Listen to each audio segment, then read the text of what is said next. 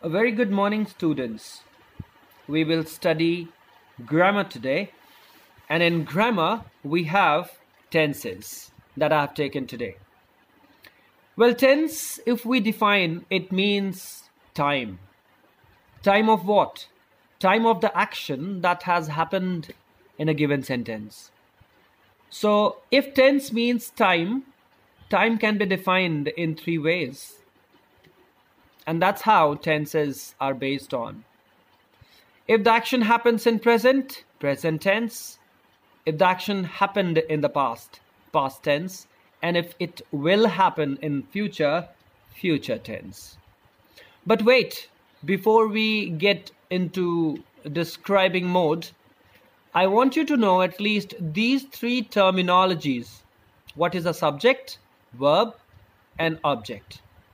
Okay, if you are reverberating with the definition, forget it.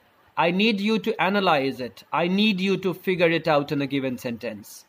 So if I take the definitions, we talk about subjects, which means whatever is talked about in a sentence is the subject. Example is Shakespeare wrote King Lear here.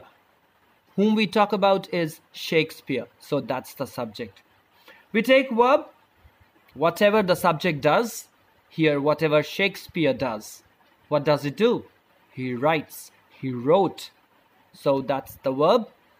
And if you take the third type, that is object, and uh, a simple way to explain is like whatever the verb acts upon is the object. Here, King Lear is being written. So King Lear is the object here you can spend some more time in your grammar books to get an expertise over these particular things. One more thing before we move into the tense, actual tense. I want you all to know at least the five different forms of verbs.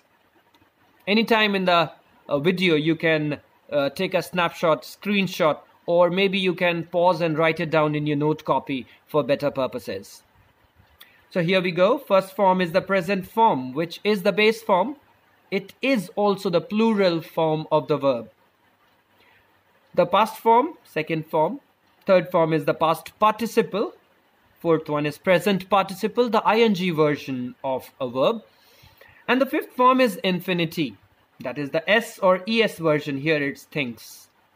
So if we take the example of think as a verb, the past form is thought. Past participle, thought. Again, present participle is thinking, while fifth form is thinks. So we need to know verb forms before we get into tense.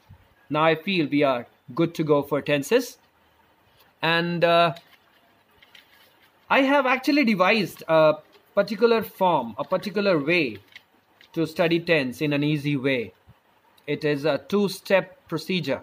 The first step, I want my students to have an expertise on what is written here, please take a note. Are you able to identify the given tense in a sentence?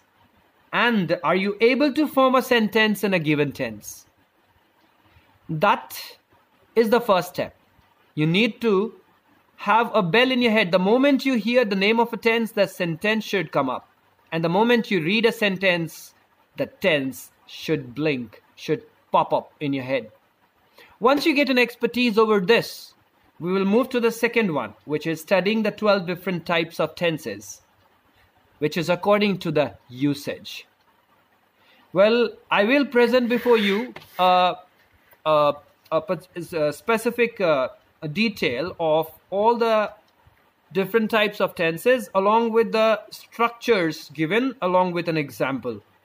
So it's simple present form, past, future, it's present continuous, past continuous, future continuous.